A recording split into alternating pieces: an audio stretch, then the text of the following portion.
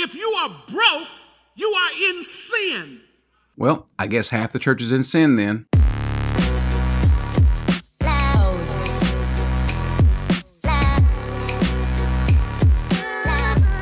William Murphy is an ungodly person. His church is ungodly. There's nothing godly about it. Remember, this is the same person that wanted to dedicate a baby. Nothing wrong with the baby. Nothing wrong with that at all. The child is innocent, but of a well-known, famous lesbian couple. This is him. He does not. He does not care about anything of the Bible. He cares about himself. And there's a particular passage that, from the beginning to the end of this chapter, refers to him. And he makes a statement about money. Make no mistake about it, William Murphy is about money. William Murphy is about himself. Listen to me. You cannot serve both. You cannot serve both. But you can both. So what he's talking about is this passage in Matthew 6, 24, where he says, You cannot serve two masters, for either he will hate the one and love the other, he will be devoted to one and despise it. You cannot serve God and wealth, or God and mammon, or God and money. And his point is, it's almost like an in and around kind of a, uh, an outlet, an exception, a loophole. You can't serve God and money, but you can have both. Well, the fact of the matter is, if they are both on the same level, it's the same as serving.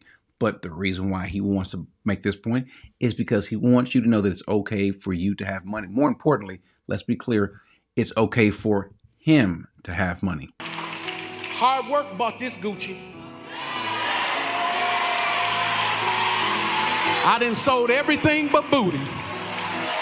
That's him. That's how he talks. That's how he thinks because he's about Gucci. He's about all these other things. He's about the way he dresses. He's about his money. See, y'all still think this a money message. Y'all, y'all just, how you gonna not say nothing after I say that? You can't serve both, but you can have God and wealth. Tap everybody around you. They must be broke. They ain't saying nothing. Tap them and tell them you can have God and wealth. Say it loud. That's how you indoctrinate the people to become part of their sin. One, you're tapping into their greed, just like we saw in the garden where the serpent shows up and he convinces her to eat this fruit. Why? Because the Bible says that it was already desirous to her it was appealing to her. And so you can tap into something that might be desirous or appealing. It could be of the flesh. And if you've got a pastor that is that's got a weak membership, meaning weak that they don't know the Bible, then it's easy to get them to make this chant too, because if they say it, they will internalize it. It'll be part of what they want. And so they become these sinful people that we see in First Timothy chapter 6. Now we're going to see where this becomes a different doctrine. And so this is also inclusive of, of what he's saying. But if anyone advocates a different doctrine and does not agree with sound words, those of our Lord Jesus Christ, and with the doctrine conforming to godliness, he is conceited, just like he is, and understands nothing, which is exactly uh, descriptive of him. But he has a morbid interest in controversial questions and disputes about words, of which arise envy, strife, abusive language, evil suspicions, uh, and constant friction between men of depraved mind, which he is. Uh, and deprived of the truth, which is, who, who suppose that godliness is a means of gain. He thinks that in the position that he is, that's how you get gain, not knowing that it is godliness that actually is gain. Look what he says: "For we have brought nothing into this world, so we can take, so we cannot take anything out of it." Well, tell that to him. Uh, if we have food and and covering, with these things we shall be content.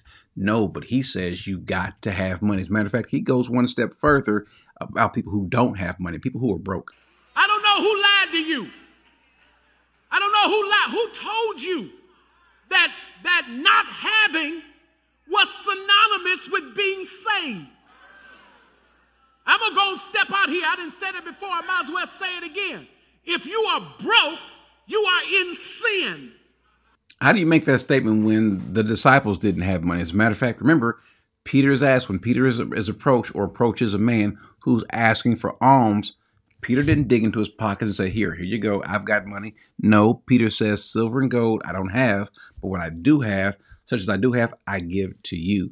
Uh, we didn't see, Jesus says, Foxes have, I mean, birds of the air have nests, foxes have holes, birds have nests, but the Son of Man has no place to rest his head. He didn't walk around with a with a with a wealthy entourage. And now obviously Jesus could have money whenever he wants to. He is the one that when it's told to go pay the taxes, he says, go over to that fish and get a coin out of the fish's mouth because who he is is God. But he didn't walk around with wealth. He was not advocating wealth. As a matter of fact, he as well as John the Baptist. How do they come? Not like with the fine clothing, the soft clothing, the effeminate clothing that Jesus called them. Not like them. John came in a meager, uh, humble sense, just like he did as well. But no, listening to this man, this foolish person who's going to lead other people to hell, he would have you believe the opposite that being broke is a sin. Where is that scripture at? You are a liar. You, my friend, are a liar.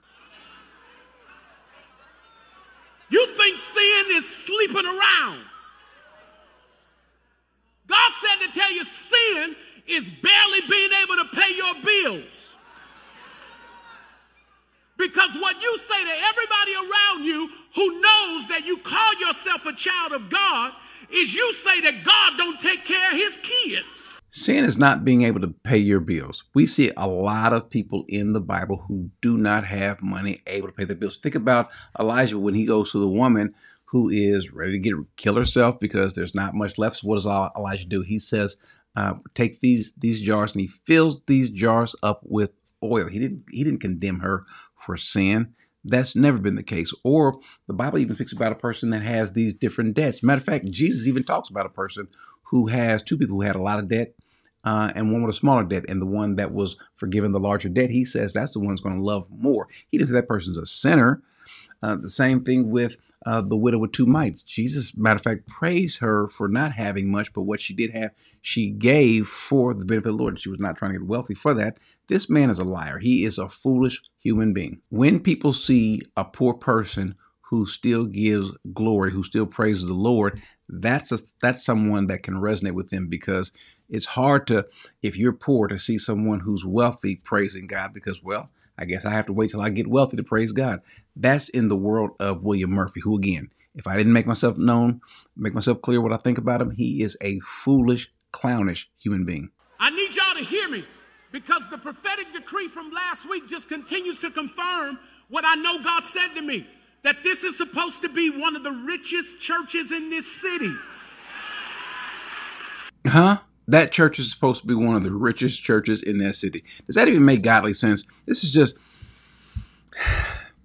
I do pray though that he would repent, uh, because how about using your your position, your platform for good, rather than sending folks to hell, causing folks to sin? The Bible says, "But those who want to get rich fall into temptation and a snare, and many foolish, harmful desires, which plunge men into ruin and destruction." Look what he says for the love of money is a root of all sorts of evil, and by and some by longing for it, which is what we see here, uh, have wandered away from the faith and pierced themselves with many griefs. These are people who are clearly not believers, but they moved away from this is what he says in the first part of chapter six, moved away from the tenets of the gospel. They want things rather than God. They want uh, what can be given to them rather than the life that can be given to them from the Lord.